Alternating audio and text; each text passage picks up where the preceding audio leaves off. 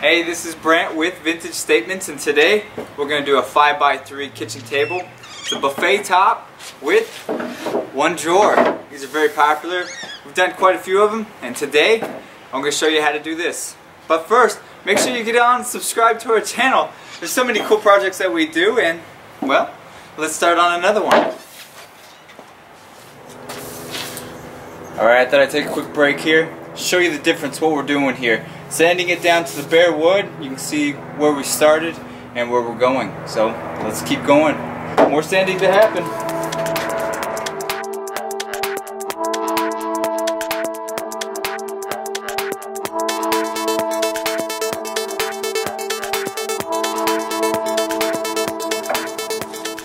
Alright, it is now time to put some stain on. We've got Dixie Belle No Pain Gel Stain and we're going to do it in walnut color. Really nice product. So, as you will see, this product goes on real nice and we'll just stain the top and then we'll pick out our color uh, paint for the base. The next thing we'll know, we'll have this thing completed. So, next step, let's put some stain on.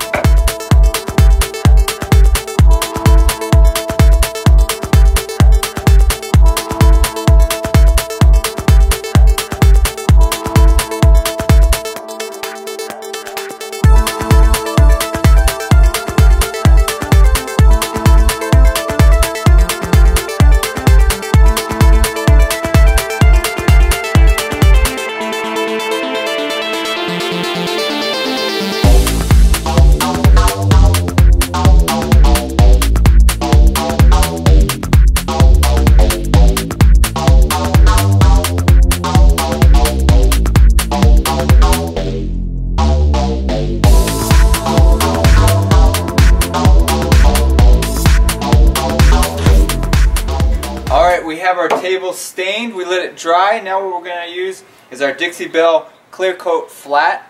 Put one, uh, one layer of that on here. Nice sealant for this. And then we can start painting this base. So follow along as we start putting some clear coat on it.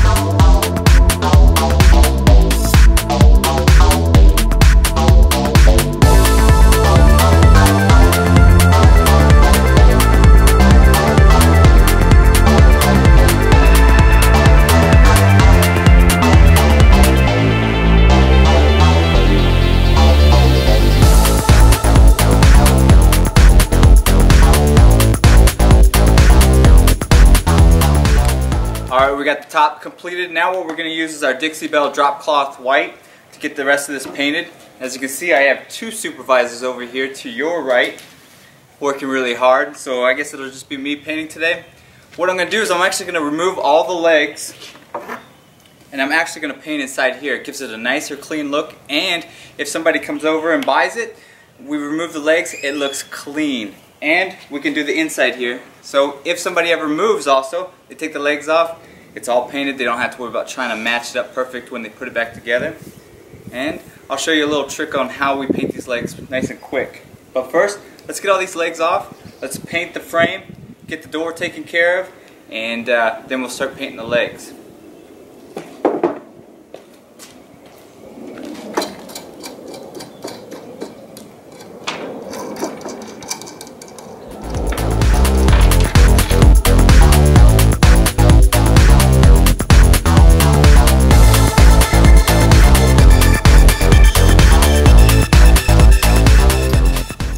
Okay, so I put the hardware back on.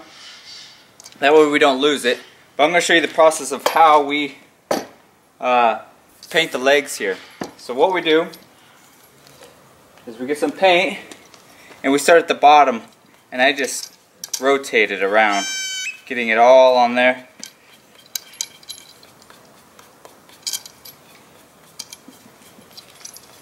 Just using the rotation of the of the leg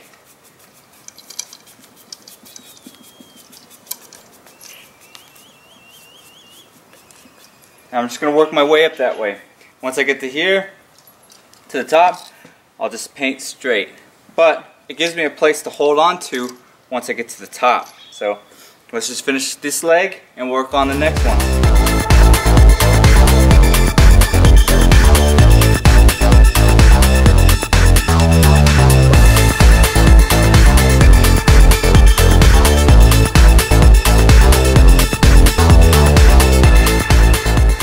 Okay, so we've got it all painted. Now what we're going to use is our Clear Matte Spray Wax by Dixie Belle.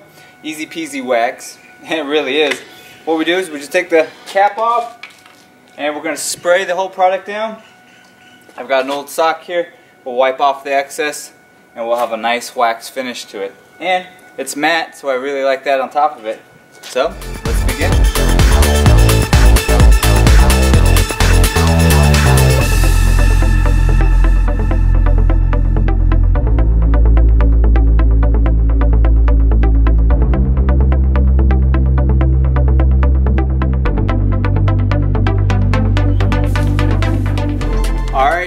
completed. We used the Drop Cloth White by Dixie Belle. We also used their Easy Peasy Spray Matte Wax to finish it off.